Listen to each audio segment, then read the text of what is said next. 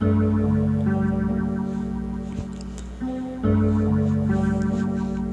is for the people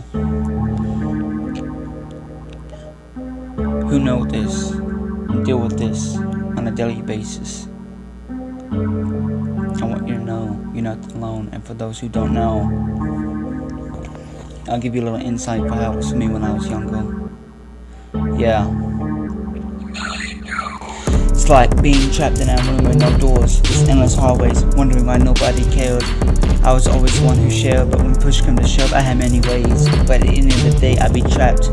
Trapped in my head, replaying what I should have done. Should have done better, should have been to the letter, like shit, I've seen this all before.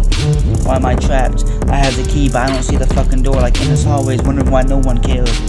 I was always the one who fucking shared, but when push came to shove, I had many ways. But at the end of the day, none by love and I'd be trapped, trapped in my head, replaying what I should have done. Should have done it better to the letter, like shit, I've seen this all before. Why am I trapped? I have the key. What the fuck is wrong with me? Yeah, what the fuck is wrong with me? Yeah, what's wrong with me? If you relate, let me know. But first, tell me. Tell me, can you see?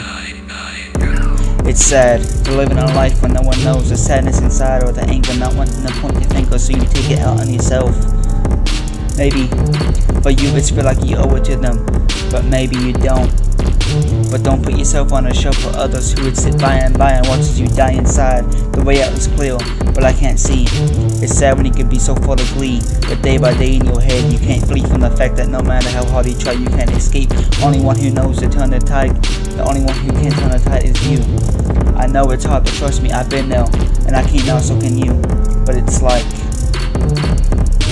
but it's like. Like being trapped in a room with no doors, just endless hallways, wondering why nobody cared. I was always the one who shared. When push come to shove, I had many ways, but in the end of the day, now by love, and I've been trapped, trapped in my head, replaying what I should have done better, should have done it to the letter. Like shit, I've seen this all before. Why am I trapped? I have the key, but I don't see the door. Like, the fuck is wrong with me? The way out is clear, but I can't see. It's sad when you be so full of glee, but day by day, but you can't be in the fact in the head that no matter how hard you try, you can't escape. It's sad to live a life when no one knows the sadness inside or the anger, but yet you don't want to be pointing your finger, so you take it out on yourself. Maybe for you, it's feel like you owe it to them, but you don't. But don't put yourself on the shelf for others who would sit by and by as you watch you die inside. The way out is clear, but I can't see. It's sad when you can be so full of glee, day by day, but in your head, you can't flee from the fact that you can't escape. No matter how hard you try, you just can't escape.